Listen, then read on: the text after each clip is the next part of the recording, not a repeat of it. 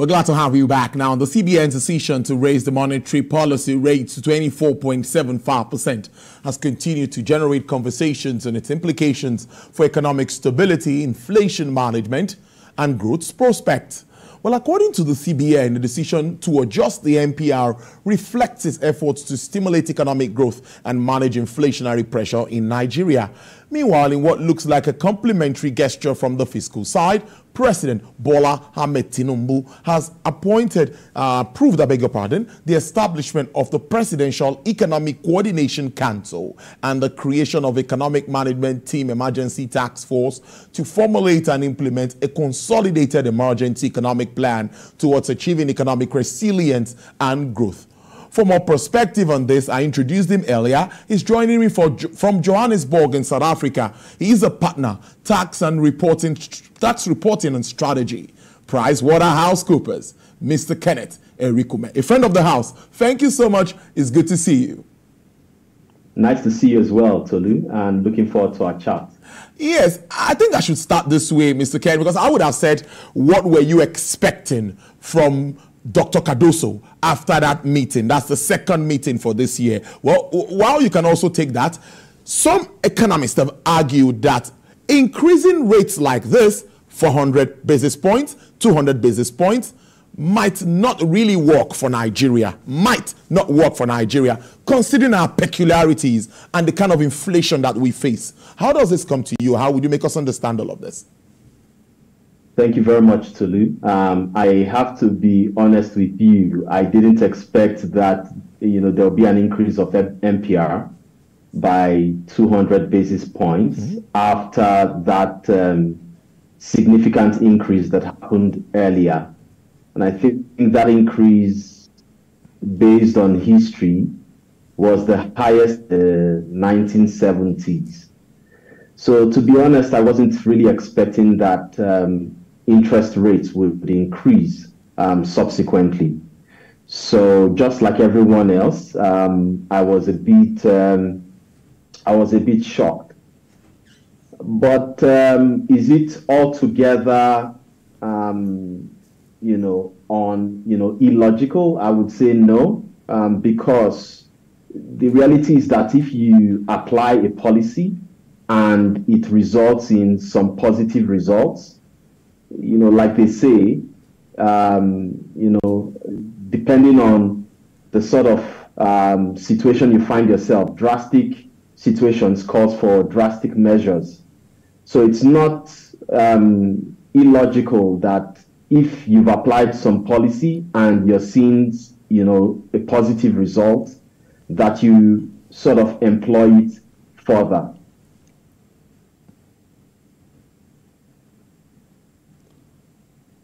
Mr. Rikume, are you there? Well, um, let me say that Francis to the actions that have. Uh, yes, I'm here. Go I'm ahead. Go ahead. Go ahead. Some network issues there. So, go ahead. Yeah. So if I pick myself um, as an example, you know, the last time I came on this show, um, I mentioned to you that I was going to cut down on my loans. Um, and I and I did that. I paid back the bank a significant portion of my personal loan. Um, but then there was an asset financing I needed to do.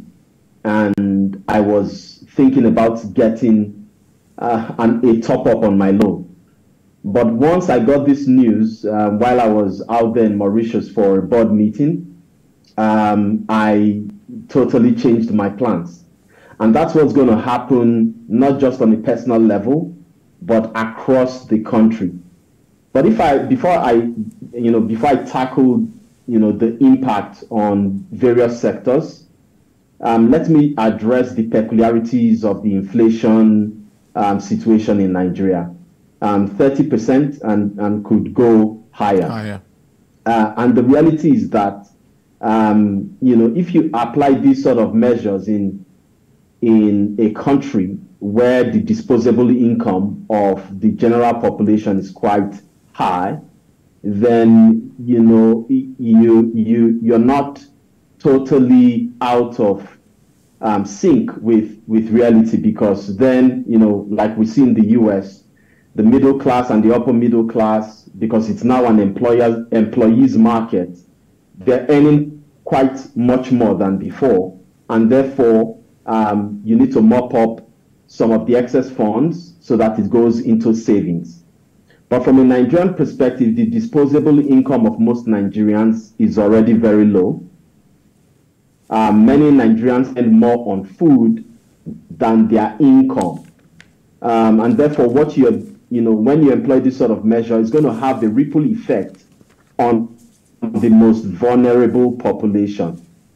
Um, and these are the micro, small, and medium enterprises that would require funding. And they're already borrowing at a very high rate in order to meet up with their obligations.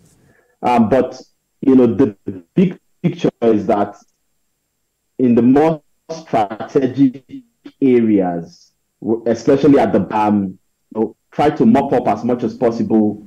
Um, you know, claw back some of their non-performing loans, and of course, put their investments in, you know, invest their monies more into um, stable investments that they believe they'll be able to recover from. So the measures at a strategic, maybe at the you know macro level, would achieve its purpose. But a lot of businesses, especially in the small, medium, and micro levels, will be significantly exposed. Um, and that would have a ripple effect on everything, including, you know, the non-performing loans that we rec- recognize in the sector, um, as well as the real sector of the economy, especially for manufacturers and the telcos, um, who are already grappling with headwinds in terms of forex, that they would therefore be contending with other challenges like the um, interest rates, um, which would force them to begin to look at their capital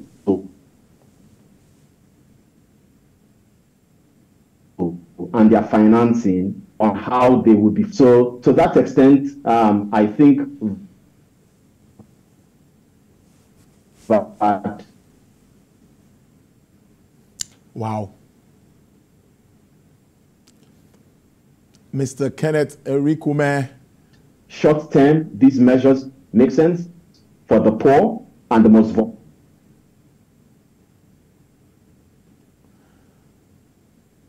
Can you hear me?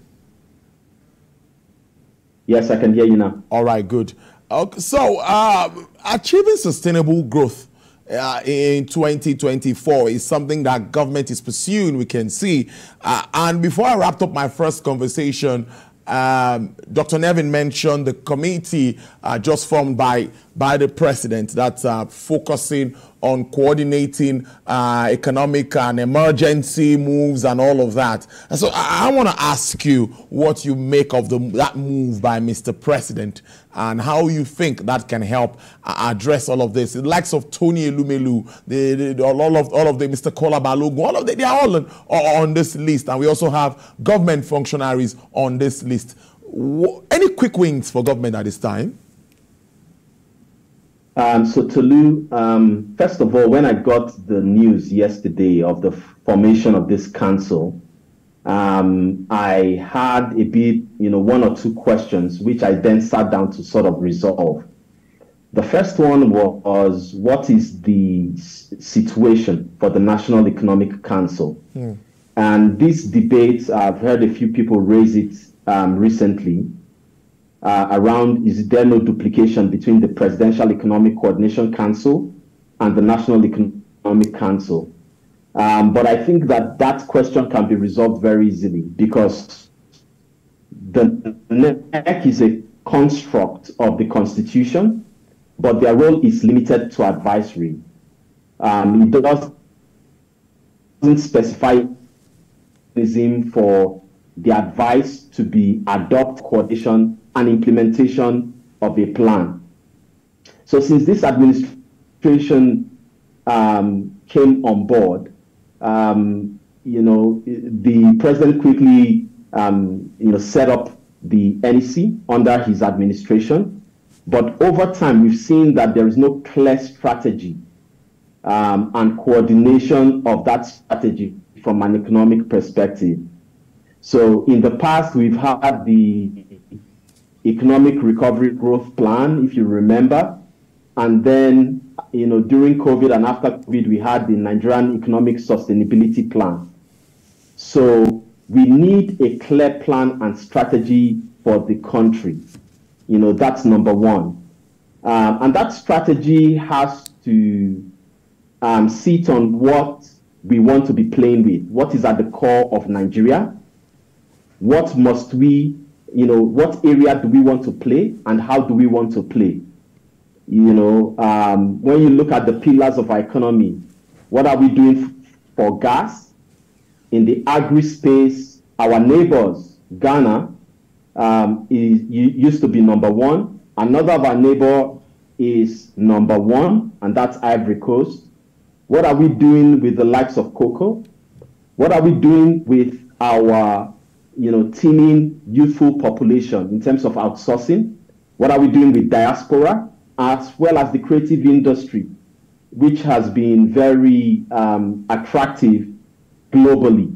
So we need to look at areas where we can create, enhance value, and retain value, and not just for now, but sustainably. So that strategic plan, I believe, is what the um, you know the Presidential Economic Coordination Council would be doing over the long term. Um, and the, the plan would cover things around um, employment, inflation control, balance of payments, income distribution, sustainability, and all those key parameters. Um, but after planning, there also has to be coordination. And I think for me, this is where the new you know, council that the president has formed can create quick wins. Because in, you know, in the recent past, we've seen a lot of lack of coordination. Um, and I think this is what the president is trying to address. So if I pick the example of the expatriate employment levy, on the one hand, we're trying to, we were trying to attract foreign direct investment. But on the other hand, we were coming up with an expatriate, you know, employment levy of ten thousand dollars to fifteen thousand dollars per expatriate. You know, that was counterproductive because all the multinationals that would want to invest, they would obviously want to send in their expatriates so that they, you know those expatriates can watch over and deliver their investment. Um, and then, you know, something as basic as payment of tax you know, in the tax law, it says you pay your tax in the currency of transaction. But then, on the other hand, you want to encourage people to patronize the um, I&E window and all the official channels of government. But if, if someone um, is then forced to the parallel market to source for FX to pay taxes, that's lack of coordination. And even other things around diversification of the economy, when we talk about incentives for backward integration, um, and then you're encouraging people to export. But when they get to the port, there is so much bureaucracy to get the items out. That's lack of coordination. So you need to have that model where you're bringing, you know, all the critical stakeholders in the economy, the central bank, the Ministry of Finance, customs, immigration, and everybody's coming under one umbrella to deliver the strategy which government comes up with. So for me, I'm expecting a big win from that perspective because that's an area where I believe the government can move the dial significantly. But you know, these two aspects will not deliver the outcome. So on the one hand, we talk about the strategic plan, and that's right. Every country must have a plan. If you look at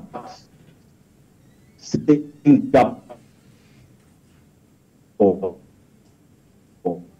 you know what their education they want finance uh, and that's their their long-term plan when you look at at china they invested heavily on education on infrastructure um, and a whole lot of um, you know um, um in you know investment around opening up their economy for foreign investment. And that is their strategy. So we, we also need to come up with our strategy and implement it. But the plan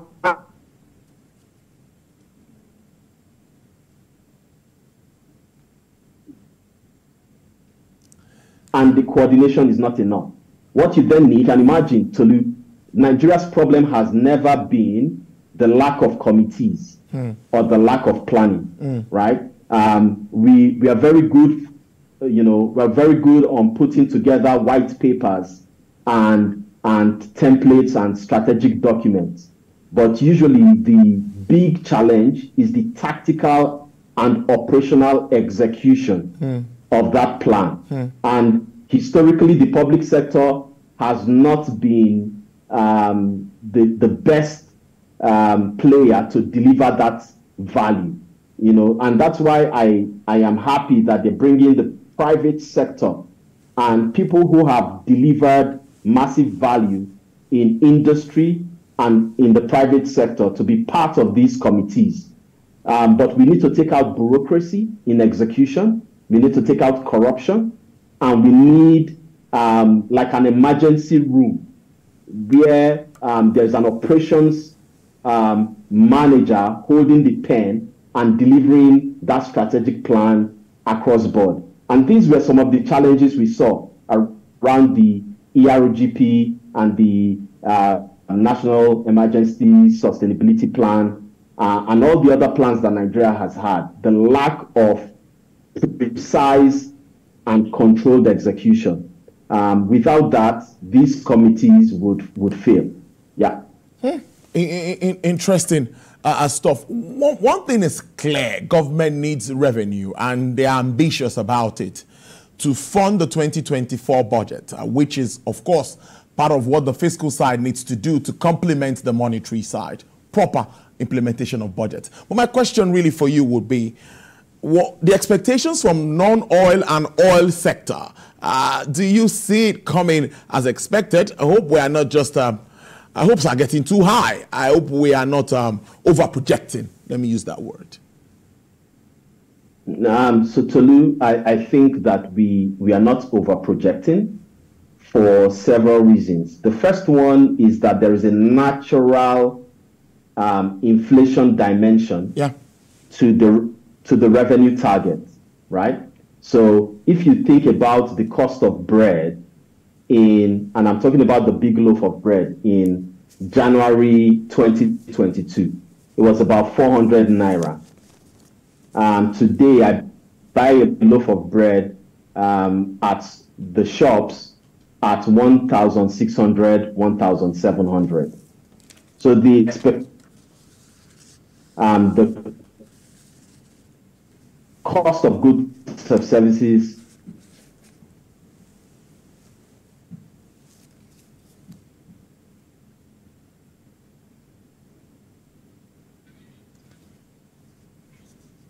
again network. Yeah. I think we have mr coming back go ahead please. Go ahead.